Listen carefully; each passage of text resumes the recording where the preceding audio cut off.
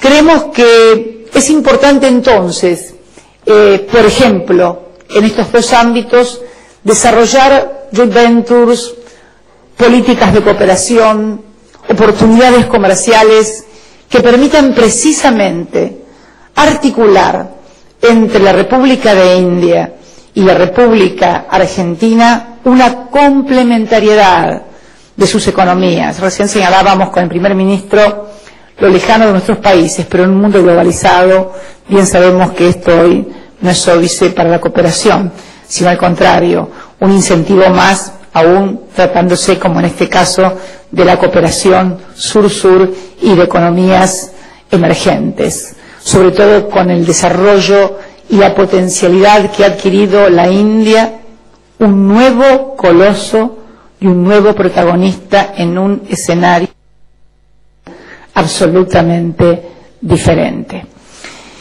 En la industria farmacéutica también, en donde tenemos un importante desarrollo y que seguramente vamos a través del seguimiento de políticas que vamos a implementar, poder arribar a acuerdos y asociaciones entre empresas argentinas y empresas indias para la producción conjunta, que no se acabe únicamente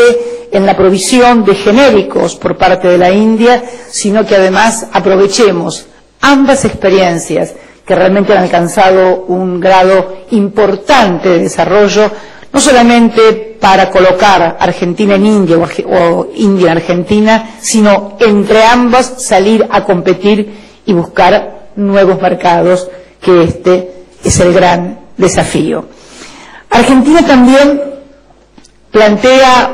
oportunidades de rentabilidad más que importantes. En principio porque en la República Argentina, por su legislación vigente, por su constitución desde el año 1853,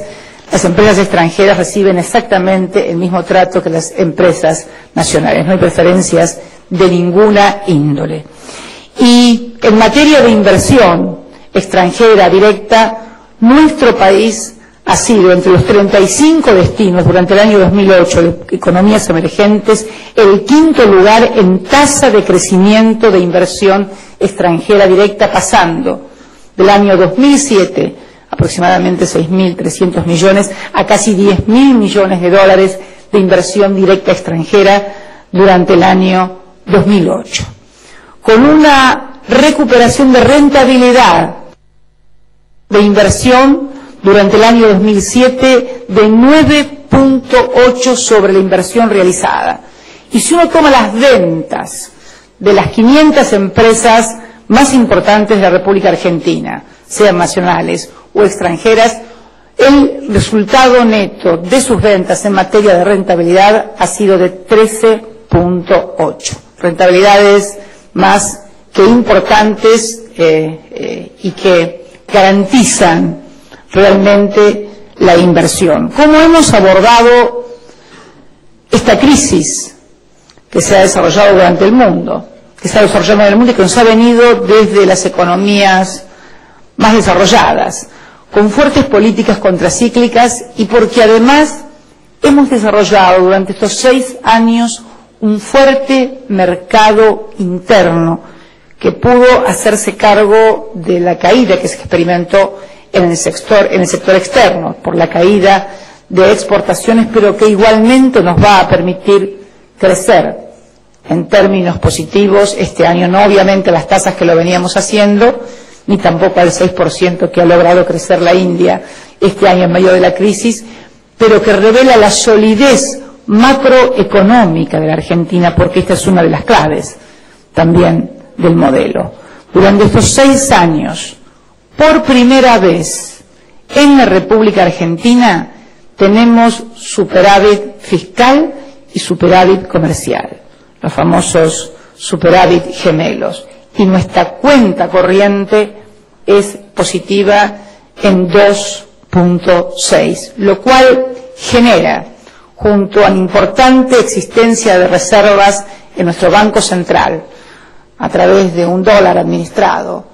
revela una solidez macro que permite tornar segura y rentable la inversión que se hace en nuestro país. ¿Cuál ¿Cuál es el modelo que estamos proponiendo para asociarnos con nuestros hermanos de la India? Fundamentalmente en aquellos dos sectores en donde la India revela eh, déficits en su balanza, alimentos, lo hemos estado charlando con el primer ministro, y energía, son dos temas claves en los cuales debemos asociarnos porque la Argentina tiene mucho para ofrecer. Como yo estoy con jet lag y tengo temor a equivocarme en las cifras y que mañana algún periodista diga se equivocó y no fue así, me voy a permitir leer algunos números en cuanto, eh, por ejemplo, cuando uno ve la producción del BRIC, de los BRIC, Rusia, eh, India, eh, China y Brasil, en materia agrícola y la competitividad, por ejemplo, de la Argentina. Eh,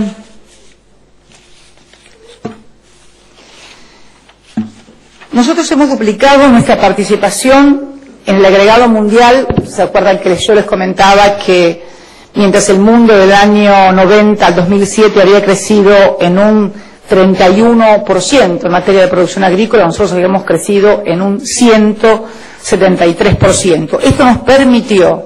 duplicar nuestra oferta y nuestra participación en el mercado internacional de 1.6 a 3.2%. Pero déjenme, esto es producto de siembra directa, acopio y almacenamiento, biotecnología, genética, maquinaria agrícola y software. Como verán, no es solamente un proceso de siembra. Es un mix que podría ser utilizado aquí donde la rentabilidad o el resultado por hectárea es sustancialmente inferior al resultado por hectárea en Argentina. Con lo cual, eh, charlábamos con el señor viceministro que esto se debe fundamentalmente tal vez a la división en minifundios, pero también a todavía eh, metodologías eh, no tan modernas en materia de producción agrícola. Déjenme contarles que en producción de granos el BRIC, el grupo de los cuatro, tuvo 973 millones de toneladas, 270 millones de toneladas la India, pero la Argentina, sola con 40 millones de habitantes, tuvo 92 millones eh, de producción de granos. Esto revela, además, eh, una producción de granos por habitante, en el caso de la Argentina, de 2 toneladas 295, cada, o sea, casi 2 toneladas y medio por habitante. Esto revela la potencialidad por el inmenso saldo exportable y la necesidad de agregar valor a ese producto también, donde tenemos una expertise muy importante en materia de producción agroalimentaria. La diversidad, además, de producción en la Argentina, donde tal vez lo más famoso sea el aceite de soja, eh, el trigo, el maíz, eh, pero donde realmente me acompaña, por ejemplo, gobernador de San Juan, productor de uvas y uno de los vinos más ricos del mundo. Ustedes saben que ocupamos el quinto lugar en materia de vinos, producción mundial, vino Sirá, y realmente cítricos, frutihortícola, eh, aceite de oliva, lo que se le ocurra, casi una góndola Casi la góndola del supermercado puede ser llenada por productos argentinos.